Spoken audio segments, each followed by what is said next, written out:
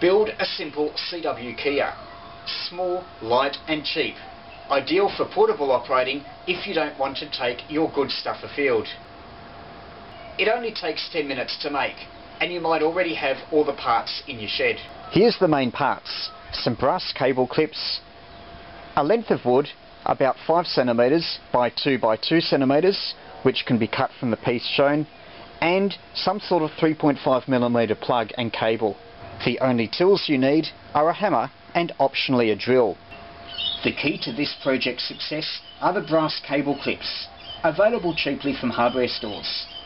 There's not many things these days made of brass, and these cable clips are a cheap and welcome exception. The springy nature of the brass, along with its good electrical conductivity, makes it ideal for homebrew keys and keyers. The cable clips also have a nail, ideal for knocking into the bit of wood that we're going to use. A Morse keyer paddle is just a single pole double throw switch.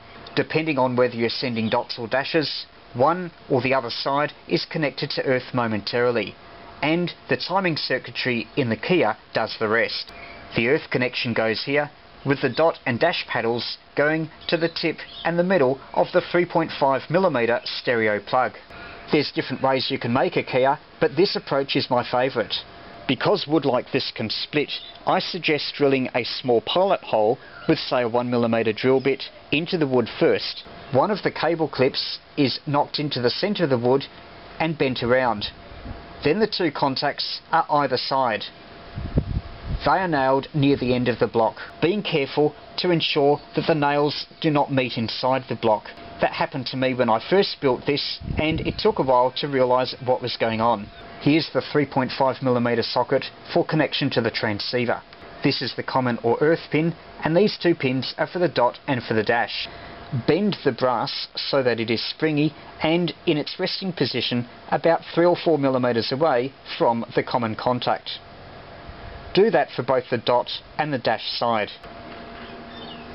You should be able to send at 15 to 20 words a minute on this keyer, and you seldom need speeds higher than that for portable QRP.